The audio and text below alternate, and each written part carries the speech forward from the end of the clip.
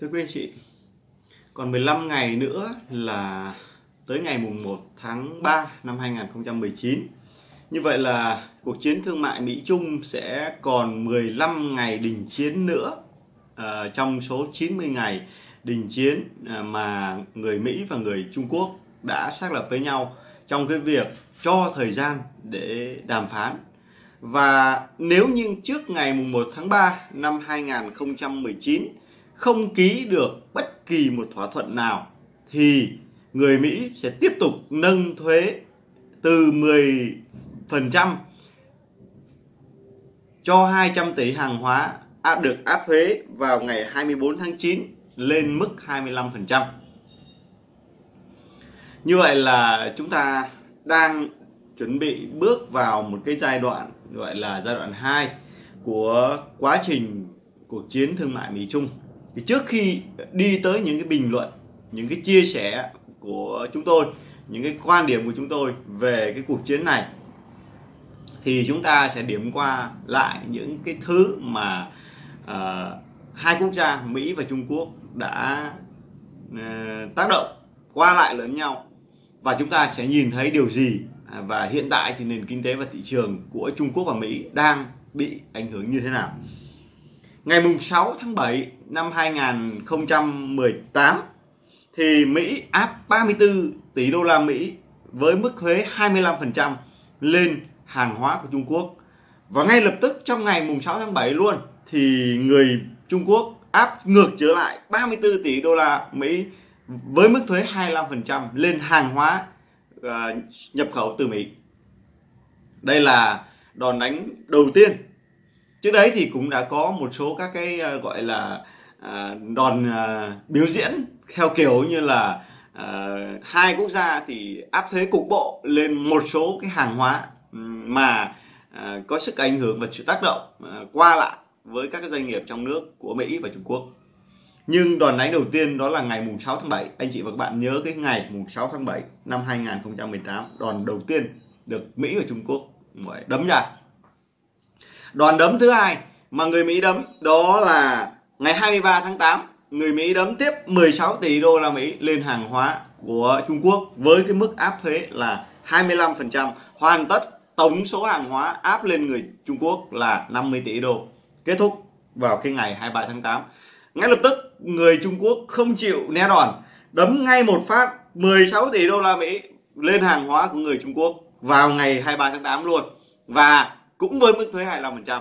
Như vậy là hai bên đã hoàn tất một cái cú đấm và một cú đá với cái mức thuế là 50 25% cho 50 tỷ đô la Mỹ đầu tiên kết thúc vào ngày 23 tháng 8. À, tưởng chừng như cái cuộc chiến thương mại Mỹ Trung đến đó là đã là cũng là hù dọa nhau lắm rồi, cũng là một phần nào đó thì à, đôi bên cũng có phần sợ hãi rồi hàng hóa của hai bên thì ảnh hưởng rất là nhiều. 50 tỷ đô la Mỹ đã được áp vào mà đánh qua lại các doanh nghiệp. Và các doanh nghiệp cũng kêu trời, kêu đất. Doanh nghiệp Mỹ thì cũng kêu chính phủ Mỹ và doanh nghiệp Trung Quốc thì cũng kêu chính phủ Trung Quốc. Bởi vì với mức thuế 25% thì gần như là không xuất khẩu được. Bởi vì là cái biên lợi nhuận của xuất khẩu thì nó nằm trên 25% một chút thôi. Áp 25% thuế thì nếu như không giảm được cái chi phí hàng gọi là à, chi phí sản xuất thì không có cách nào có thể xuất đi được. Và các doanh nghiệp mà bị áp 50 tỷ này bị bắt đầu chịu ảnh hưởng ngay sau khi cái quyết định này uh, được ra đời. Vào ngày 20 mùng 6 tháng 7 và 23 tháng 8 thì đã bị ảnh hưởng rồi. Và như thế là chúng ta thấy là là là có vẻ là cũng thương đau à, cũng như ăn một cú đấm và một cú đá thì bên nào cũng uh, gọi là một bên thì bầm mặt mà một bên thì bầm mắt tưởng như là ngon lành rồi. Ngày 24 tháng 9 ông Mỹ ông đấm một phát nữa. Đấm quả này đau ấy quả này 200 tỷ. Áp 10% thuế vào hàng hóa của Trung Quốc. Tổng số hàng hóa thì ờ, nghe đâu là khoảng 608 tỷ gì đấy. Hàng hóa của Trung Quốc xuất đi Mỹ, mà ông này ông đấm thêm 200 nữa, tức là đã được 250 tỷ. Nhưng cái lần này thì mặc dù là cú đấm to nhưng mà độ mạnh thì chỉ à, đạt ở cái mức độ vừa phải thôi. Ừ, độ mạnh ở đây thì nó nằm ở đâu đó khoảng à, 10% phần trăm thuế. Và thực tình thì à, người Trung Quốc thấy Mỹ ra đòn kiểu to thế thì cũng sợ và thấy rằng là uh, có vẻ là cái lượng hàng mà mà mà mà người Trung Quốc nhập khẩu từ Mỹ thì không có nhiều. Nên là chỉ đấm lại à, nhẹ nhẹ 60 tỷ với mức 10% cũng trong ngày 24 tháng 9 thôi nghe cũng vẻ êm thấm. Nếu mà so với 608 tỷ thì chúng ta thấy rằng là 250 tỷ thì nó chiếm đâu đó gần phân nửa, gần phân nửa. Nhiều người bảo là đấy là đủ rồi, làm ăn đâm, đấm đá như thế thì một thằng thì cũng ờ, vỡ mặt, một thằng thì gãy răng rồi. Tốt lại là dừng lại thì được rồi. Không, anh Trung Quốc và anh Mỹ, anh không dừng lại ở đó. Sau khi cái cuộc đàm phán gặp nhau của ông Tập và và và và ông Trung thì vào ngày bao nhiêu ạ? Ngày mùng 1 tháng 12 năm 2018 thì hai ông này gặp nhau.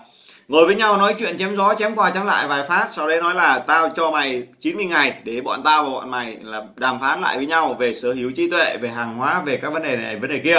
Nếu sau 90 ngày mày không ờ, đưa được cái đàm phán gì cả bọn mày không ờ, nương tao cũng không nương. Và tao sẽ tăng hai hai ờ, mười phần trăm thuế à, từ 10 200 tỷ từ 10 phần trăm lên 25 phần trăm và anh Trung Quốc cũng đồng ý với câu chuyện là gia hạn là 90 ngày để có thể tăng thuế. Rồi, nghe cũng thơm thơm rồi. Tưởng cũng là chắc là 90 ngày thì cũng lâu quá ha. 3 tháng đàm phán với nhau thì chắc là cũng ngon thôi. Nhưng không, trong 3 tháng đó thì ông Mỹ, ông ấy ra đòn liên tục ông ờ, chơi phát là cảnh báo các công ty công nghệ của Trung Quốc, gồm có ZTE và Huawei, là vi phạm những cái vấn đề này, vấn đề khác. Và sau đó ông đập một phát một ZTE dính đòn. ZTE là một trong những cái công ty công nghệ sản xuất điện thoại. Thì phần lớn là 70 60 đến 65 phần trăm chip của cái điện thoại của công ty ZTE thì nhập khẩu từ Mỹ. Và Mỹ nó cấm luôn, không cho bán luôn. Thế là ZTE đi viện. Rồi, Huawei thì không không đến mức là bị ảnh hưởng mạnh mạnh mà nặng như ZTE nhưng, ông Mỹ, ông chơi đòn thì cũng là khá mạnh đấy. Ông đã báo thằng Canada, mày bắt bà Mạnh Vạn Chu cho tao. Thế là bắt bà Mạnh Vạn Chu, một trong những giám đốc tài chính của, gọi là Huawei. Đây cũng là đòn cân áo, cũng khó chịu. Người tưởng chừng thế là cũng nói rồi. Ông Mỹ màn phát nữa luôn. Có gì đâu sợ. Alibaba, một trong những doanh nghiệp của Trung Quốc, không công bằng, cạnh tranh thiếu lành mạnh và có những vấn đề liên quan tới này kia khác nọ. Và chúng nó cũng đưa vào danh sách là hạn chế. Đó cũng chưa đủ. Người Trung Quốc thì thấy đánh mạnh thế làm dữ làm làm dữ quá. Mà bây giờ thì mình bây giờ đánh như thế nào đây? Thì chúng ta thì không có cách nào thì chúng ta tự làm thôi. Ở nhà bơm tiền. Đấy, ông Trung Quốc ở nhà ông ông bơm tiền. Ông ở nhà ông chơi bài bơm tiền. Càng bơm tiền thì ông Mỹ càng tức giận. Ông cáo mẹ bọn này láo tao đánh để dọa mày thế để cho chúng mày phải nương tay phải phải phải đầu hàng chứ. Tự dưng làm sao mà lại có thể là là ở nhà là cứ bơm tiền mà vằm vằm như thế hỗ trợ kinh tế làm làm làm làm làm đã là là là, là chơi xấu không lành mạnh rồi. Bây giờ lại còn bơm tiền hỗ trợ kinh tế đồng nghĩa với việc là là là là giảm giá vốn hàng bán. Như vậy cạnh tranh là không lành mạnh không công bằng với doanh nghiệp của mỹ thế là ông ông ông ông ông mỹ ông mằn phát nữa. Trong cái giai đoạn à, 90 ngày đó ông chơi phát thứ thứ nữa. Anh bạn chị biết ông chơi thế nào không? Cái thung tủ lũng silicon á à, gọi là tung cái cái cái cái cái cái cái thung lũng mà gọi là công nghệ của mỹ á. Thì trước đây thì Trung Quốc nó rất là dễ dàng trong cái câu chuyện là đầu tư những cái start up liên quan đến công nghệ của Mỹ. Sau đó thì những cái sản phẩm được làm ra từ cái thung lũng này thì được chuyển về cho Trung Quốc và Trung Quốc lấy trọng tâm là đầu tư công nghệ. Nên biết rằng là người Mỹ tập trung toàn những người cao thủ ở cái thung lũng ờ, công nghệ này, nên ông ấy đầu tư rất nhiều tiền vào đó để mà, gọi là, những cái khởi nghiệp ừ, công nghệ. Và bao nhiêu những cái công nghệ làm ra chuyển về Trung Quốc. Ông Mỹ, ông nhìn thấy, ông Hồ, chặn hết tất cả những cái thương vụ nào mà đầu tư cái đó. Và những thương vụ M&A với IPO của Trung Quốc mà có liên quan đến các cái doanh nghiệp của Mỹ, chặn hết lại cái đơn vị mà, gọi là kiểm soát về cái M&A tức là mua bán sát nhập và cái IPO lần đầu của Trung Quốc lên thị, thị trường Mỹ chặn hết. Đó người Trung Quốc thấy cũng nhức răng. Yeah, nghe thấy bọn này làm ăn thế này chết. Có vẻ là cũng xui xuôi thấy cũng khó chịu. Thế là ông Trung Quốc không dám căng nữa bởi vì căng thì chỉ, chỉ có cách cũng có nhiều cách chứ không phải không có. Nói chung chút xíu tôi sẽ nói với anh chị và các bạn rất nhiều cách. Nhưng ông Trung Quốc ông bảo thôi xuống nước tí. Người Trung Quốc thì có cái kiểu là ừ, báo thù 10 năm chưa muộn. Nên là xuống nước tí. Thế là vừa rồi cho anh Tesla, cho anh Tesla đầu tư vào Trung Quốc ừ, 2 tỷ đô để xây dựng nhà máy mà không phải liên doanh. Tức là Trung Quốc có một cái kiểu là đầu tư vào Trung Quốc là phải liên doanh và chuyển giao công nghệ, đúng không? Nhưng mà thế giới thì người ta không thích. Nên là sau khi mà thấy cũng xuống nước tí là cho thằng ờ, Tesla đấy, vừa mở một cái, ký một cái hợp đồng với nhà máy. Và cũng bật đèn xanh luôn cho mấy công ty ô tô của Mỹ, gồm có BMW và mấy công ty ô tô khác là được phép là thâu tóm cái doanh nghiệp liên doanh, hoặc là có thể là giảm tỷ lệ cổ phần của doanh nghiệp liên doanh. Đấy, đó là cái bật đèn xanh đầu tiên thì người Mỹ thấy cũng xui xuôi được, bọn này cũng ngoan, mới dọa thế mà đã. Rồi, ok. Chúng ta điểm qua cái tình hình như thế để chúng ta thấy là tình hình là là cũng rất tình hình, rất căng đấy chứ mấy không căng. Một điều chúng ta cần phải lưu ý thế này này. Người Mỹ đi, những nước đi cũng rất là bài bản. Họ tính toán rất cân nhắc và họ đi không theo kiểu là thích thì làm, không ẩu, không hề ẩu một chút nào. Nhìn thấy tưởng ông chuông ông ẩu nhưng không ẩu một chút nào cả. Tại sao ngày mùng 6 tháng 7 áp 34 tỷ? Tại sao không áp luôn 50 tỷ? Không, áp thăm dò 34 tỷ sau đấy một tháng sau, hơn một tháng sau 23 tháng 8 áp tiếp 16 tỷ áp thăm dò, đánh đòn thứ hai để xem tình hình như nào. Và đến ngày 24 tháng 9 tức là tròn một tháng tiếp theo, thì ông mới nổ một phát cùng 200 tỷ. Và đến ngày hôm nay thì vẫn chưa có cái động thái gì về cái câu chuyện có tăng thuế không. Lý do là bởi vì thăm dò giữa cả hai quốc gia, giữa cả doanh nghiệp của Mỹ và doanh nghiệp của Trung Quốc. Anh chị phải lưu tâm là nếu như những cái doanh nghiệp ảnh hưởng thì ít nhất là hai quý kinh doanh nó mới ảnh hưởng vậy thì ngày mùng 6 tháng 7 tức là sau 6 tháng tiếp theo, tức là tháng 1 năm 2019 2019 thì những cái doanh nghiệp nào bị ảnh hưởng của cái áp thuế 25% sẽ tòi ra, sẽ ảnh hưởng lợi nhuận sẽ suy giảm, sẽ đơn hàng sẽ giảm và những cái vấn đề liên quan đến kinh doanh sẽ gặp vấn đề. Đó đó, anh sẽ nhìn, anh đánh giá lại đấy, bài toán của người ta là như vậy. 6 tháng sau sẽ ảnh hưởng. Thì tháng 1 năm 2019 thì các doanh nghiệp của Mỹ thì cũng ảnh hưởng không hề nhẹ. Một số doanh nghiệp bị Trung Quốc áp thuế cũng ảnh hưởng. Nhưng ảnh hưởng nhiều hơn đó là các doanh nghiệp của Trung Quốc bị Mỹ áp thuế 25% thì gần như là các hàng hóa xuất khẩu đi thì không bán được. Và đang có những cái câu chuyện là rất nhiều những doanh nghiệp của Trung Quốc kết hợp với cái tình hình kinh tế của Trung Quốc sau rất nhiều năm, gần 20 năm tăng trưởng nóng thì bị ảnh hưởng nữa, nên là hai cái đó nó gộp lại, nó làm cho cái sức ảnh hưởng nó mạnh hơn. Và rất nhiều công ty của Trung Quốc đang lao đao và có nguy cơ sẽ bị phá sản. Đó là 13 14 tỷ. 16 tỷ ngày 23 tháng 8 thì tháng 2 năm 2019 tức là tháng hiện tại đây này, hiện tại đang có những cái dấu hiệu của sự ảnh hưởng. Anh chị không tin thì cứ tìm hiểu thông tin ở bên Trung Quốc đi. Rồi cứ tìm hiểu thêm trang báo đài đi, anh chị sẽ thấy những ảnh hưởng rất rõ nét. Và ảnh hưởng này là ảnh hưởng kép người Mỹ với mục đích, cái tâm điểm của chiến tranh thương mại đó là kìm chế Trung Quốc trong vấn đề tăng tốc của tăng trưởng GDP đang bám rất sát Mỹ và người Mỹ phải kìm lại bằng một cái đoàn gọi là đoàn chí mạng trong lúc mà kinh tế của Trung Quốc đang trong cái giai đoạn mà giảm tốc tăng trưởng. Thì anh Mỹ, anh ấy chơi luôn cái đoàn này. Tại sao không chơi cách đây 10 năm mà lại bây giờ mới chơi? Chơi như thế nó mới chí mạng. Thì tôi nhớ ngày xưa ngày xưa có một cái đòn chí mạng đối với người Nhật cũng y chang như đòn như này. Và có lẽ là chúng ta cũng phải quan sát xem cái vấn đề ảnh hưởng của 50 tỷ này nó mới quan trọng. Còn cái 200 tỷ nghe thì nó to, nhưng mà 10% thuế thì nó không ảnh hưởng nhiều. Bởi vì vẫn xuất khẩu được, bán với cái giá hiện tại đang bán vẫn có lời nên chưa ảnh hưởng về doanh nghiệp bao nhiêu. Các đơn hàng vẫn có thể ký, có thể ký ít đi thôi, nhưng mà bán thì vẫn bán được. Bởi vì cái biên lợi nhuận xuất khẩu nó nằm ở trên 25% nên yên tâm không ảnh hưởng mà có ảnh hưởng thì tháng 9 thì phải đến hết tháng 3 thì mới bắt đầu có những ảnh hưởng và ảnh hưởng nặng nề nhất phải là tăng từ 10% lên 25% áp thuế thì những doanh nghiệp đó mới vỡ mồm rồi ok Vậy thì vấn đề của 15 ngày tới thì như thế nào? Thì theo City Group và một số cái đơn vị đánh giá về các cái kịch bản có thể xảy ra cho cái cuộc đàm phán đàm phán thương mại Mỹ Trung trong 90 ngày vừa qua thì có ba kịch bản. Một là kịch bản tích cực, hai là kịch bản trung bình và ba là kịch bản tiêu cực. Kịch bản tích cực là đạt được đạt được một cái đàm phán rõ nét. Hai bên cắt giảm những này này kia, thác nọ, tôi không đi tiện đi vào chi tiết. Nhưng hai bên đạt được đàm phán và gỡ bỏ những cái rào cản thuế. Lần lượt sẽ gỡ 200 tỷ 10% gỡ tiếp 16 16 tỷ 25% 34 tỷ và gỡ từ từ. Thì cái đó là tuyệt vời ông mặt trời. Và nếu kịch bản nó xảy ra thì sao? Thị trường sẽ tung nóc, tăng ngay 10% thị trường Mỹ ấy. Chứ còn thị trường Việt Nam thì Mỹ mà tăng 10% thì Việt Nam nó băm ngay là hai chục phần trăm luôn. Nó chứ không phải vừa đâu anh chị. Mà như vậy thì nói chung là rực rỡ cho năm 2019 nếu cái điều đó xảy ra.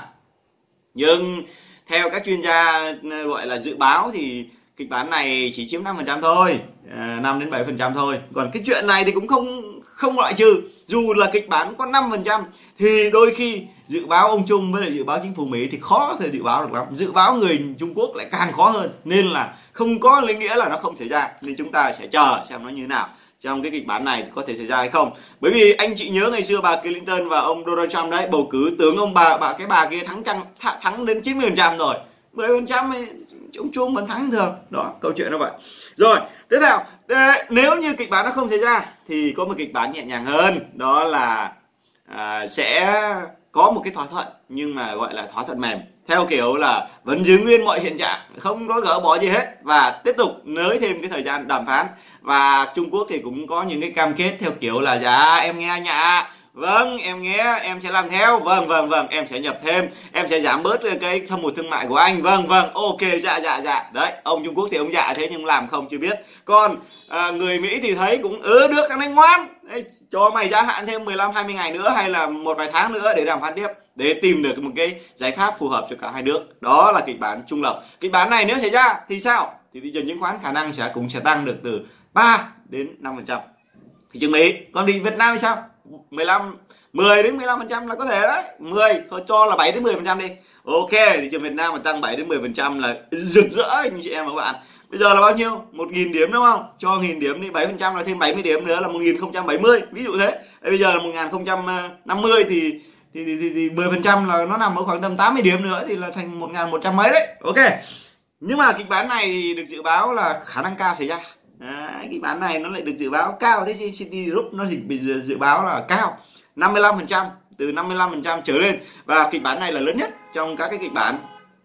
Và nếu cái kịch bản này diễn ra đúng như như thế thì nói chung thì giờ đến cuối năm thì chứng khoán của chúng ta cũng ờ, cũng nói chung cũng kiếm ăn được. Theo cái xu hướng là gọi là tăng không giống như ngày xưa là tăng thẳng dốc như này. Mà bây giờ nó xiên xiên như này anh chị xiên xiên như này. Đấy các bạn đi từ từ nó nhắc nhung nhắc trong cái năm 2019 thì chúng ta dự báo thì nếu kịch bản này xảy ra thì thị trường của chúng ta nó cũng nằm đâu đó một nghìn không trăm một nghìn không trăm 80 điểm hoặc là 1001 gì đấy thôi. Đấy, Việt Nam thế có khi là cao hơn tí. Rồi kịch bản ờ, kịch bản đau thương nhất đây là một kịch bản mà không ai muốn xảy ra cả. Kể cả người Mỹ và người Trung Quốc cũng không bao giờ muốn xảy ra. Cũng muốn anh Trung Quốc anh ngoan ngoãn tí. Người Mỹ cũng muốn rằng là đừng để cho Trung Quốc nó nó nó nó nó làm cho doanh nghiệp của mình ảnh hưởng nào là ví dụ như Apple hay là ví dụ như là BMW với mấy cái doanh nghiệp của Mỹ mà để cho Trung Quốc nó trả trả đũa hoặc là trái phiếu chính phủ Mỹ mà bị Trung Quốc nó bán ra thì cũng vỡ mồm. Nên là thành thử ra là cũng không ai muốn cả. Nhưng kịch bản này có tỷ lệ xác suất xảy ra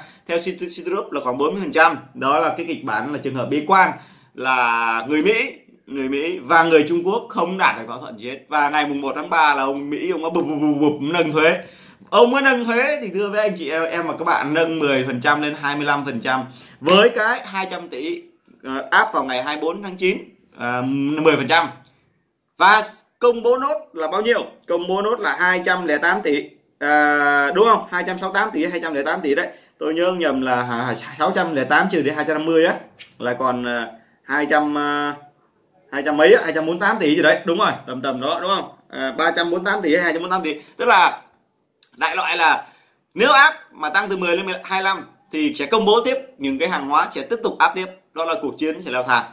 Mà cuộc chiến leo thang thì thưa với anh chị em, một các bạn kịch bản này thì nói chung là tiêu cực vãi cả đái luôn. Tức là chiến tranh thương mại thì nó sẽ leo thang lên một tầm cao mới và người Trung Quốc sẽ có thể sử dụng những biện pháp khác, rất nhiều biện pháp. Bởi vì Trung Quốc không còn hàng để áp với đối với Mỹ nữa. Với cái cái vụ áp 200 tỷ thì người Trung Quốc áp được có 60 tỷ chứ nhiêu nên là Trung Quốc sẽ dùng những cái các cái vấn đề ví dụ như là à, ví dụ như là ví dụ Trung Quốc có thể lựa chọn cái giải pháp ví dụ như là giảm nắm giữ trái phiếu Mỹ này ví dụ như là đưa thêm những cái rào cản thêm mạnh mạnh mẽ hơn này hoặc là cấm những doanh nghiệp ở ờ, của Mỹ trên đất Trung Quốc. Thậm chí là đuổi cổ luôn chứ không phải người người Trung Quốc cũng hoàn toàn có thể làm. Chuyện đó là chuyện hoàn toàn có thể. Và điều đó nó sẽ gây ra bất ổn tài chính. Dẫn đến câu chuyện người Trung Quốc vì là họ đang không chỉ là cái câu chuyện cuộc chiến thương mại mà chính quyền và kinh tế Trung Quốc nó đang gặp vấn đề ở chỗ là sau rất nhiều năm tăng trưởng nóng thì nó đang suy giảm. Và trong những năm gần đây thì không khó để nhận ra cái chuyện là tăng trưởng GDP của Trung Quốc đang suy giảm đang ở trong cái tình trạng là hạ cánh cứng hay hạ cánh mềm. À, và người Trung Quốc thì đang muốn là hạ cánh mềm hạ cánh mềm tức là hạ cánh từ từ. Chỉ cần hạ cánh cứng là đâm giống máy bay mà đâm bụp với đất thì vỡ mồm. Nên là thưa anh chị em bạn là là là là là, là họ đang phải lo chống chọi với cái câu chuyện là kinh tế tăng trưởng. Mà lại anh Mỹ người chơi bài chơi chơi, chơi, chơi đều thế để lại lại lại lại lại gây chiến thế mất dạy. Nên người ta dùng cái từ là nếu mà dùng từ đúng là mất dịch. Thế nên là cũng khó nói cũng khó nói.